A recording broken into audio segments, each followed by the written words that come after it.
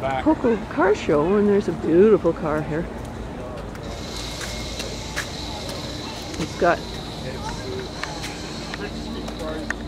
60 or 65? Whoa. Crap. Those are beautiful. I never used to even like fins in a car. I do now. I love them. Oh, my taste is changing. I used to like 1920s. It's kind of a strange color though. Way back to get it all in. There's trees in the way too. Hmm. A real beauty. It's sort of a pinky brown, isn't it? It's a strange color. What does it say? Saratoga. Yeah, yeah, yeah.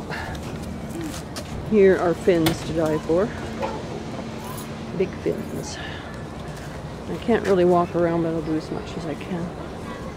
The things are so massive. If you get them all in, they look like little specks. You see, I thought that logo is a lion leaping. Yeah. And what color would you call that? That's sort of a pinky. It's not my favorite, but it's okay. It's a softer color. A humongous. Humongous what? Let's try to sort of get it at an angle like they do in the ads. Step on somebody.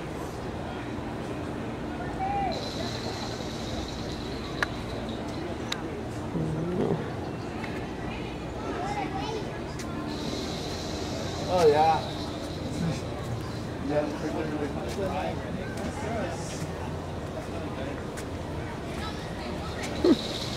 I'm getting my exercise for the day. Getting the end of this thing. It's so beautiful.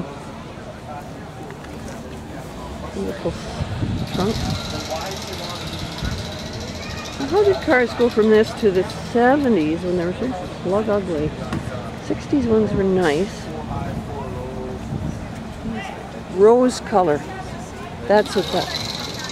Sar- Chrysler Saratoga, 1960 and it's it's a rose. You call that dusty rose.